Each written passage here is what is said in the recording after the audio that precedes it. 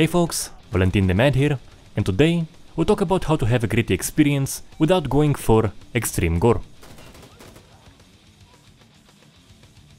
There are several games I'm following, mostly tactical shooters that lean towards varying degrees of realism, that when the topic of character responses comes up, the image that often comes to people's mind is dismemberment, guts, splitting heads open, scattering brains over the floor, and so on.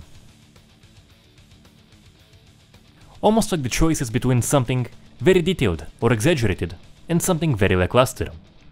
Well, there is a middle ground. Essentially, blood and gore effects are supposed to be the response for the action happening in combat. It can be realistic or exaggerated, simple or very detailed.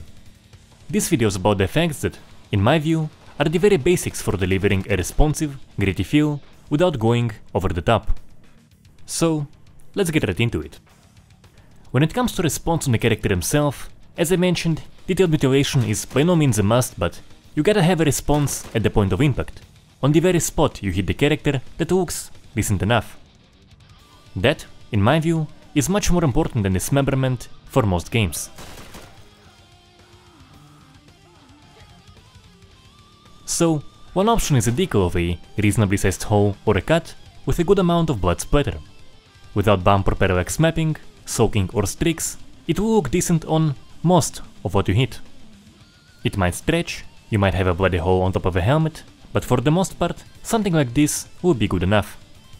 The Source Engine Insurgency is a good example, though the hole is a bit large, and so is COD Modern Warfare 2019. A different possible variation I've seen several games do is just blood splatter. Perhaps trying to make a hole using simple decals just doesn't work very well in some specific games, so with good color and interesting patterns, it definitely can be a decent solution.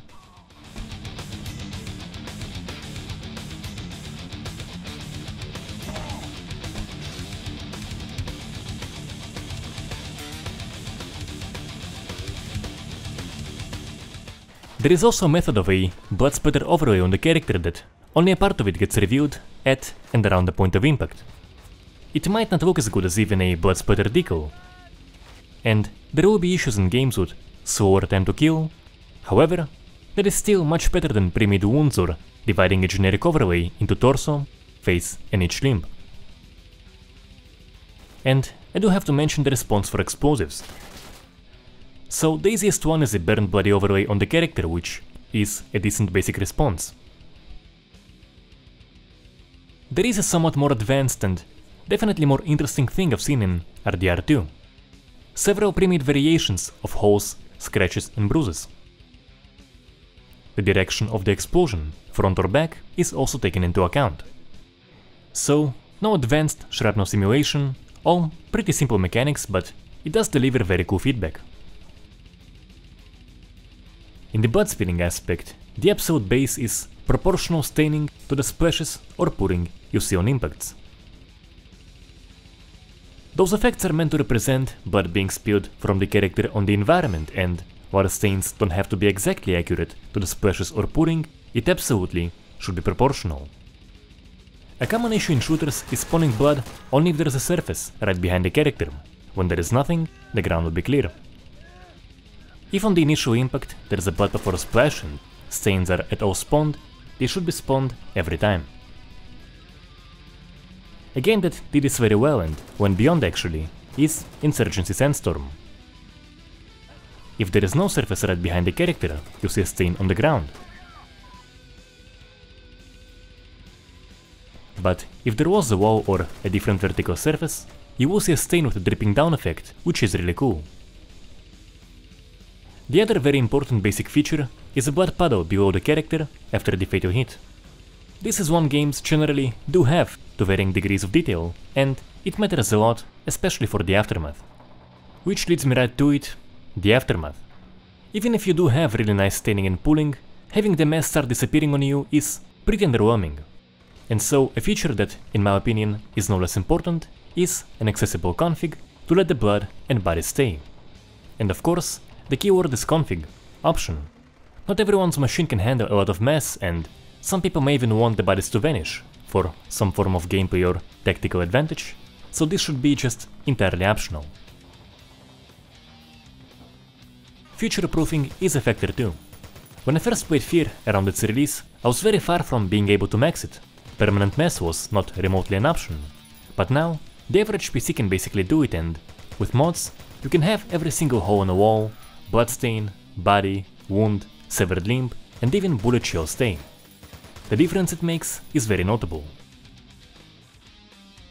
When a game is good, which F.E.A.R. absolutely is, people will be coming back to it even many years after release, so things like resting mass should be an accessible option.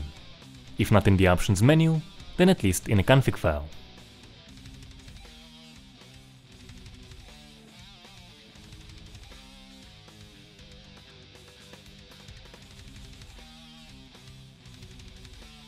In the animations aspect, for an action game, without any advanced features, the base is very weighty response and death animations, followed by ragdoll.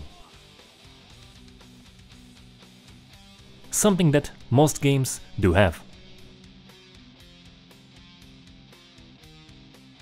Now some of the death animations can be fairly lengthy and that definitely makes a notable difference.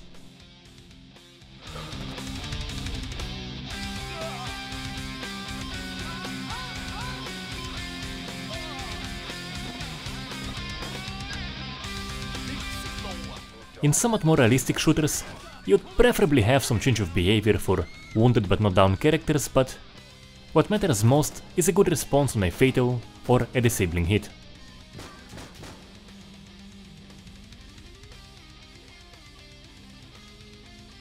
So, sending characters into a down but not dead state. This one is just an animation loop in most cases, so much more simple than a full set of injured movement and shooting animations. The other option is a somewhat lengthy animation on the fatal hit.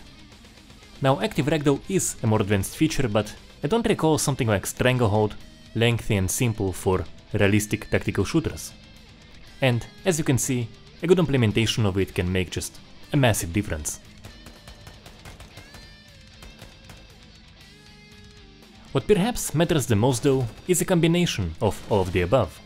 A proper amount of attention in every aspect the response on the character himself, the bot on the environment, the animations, and of course, configurable mass for the aftermath.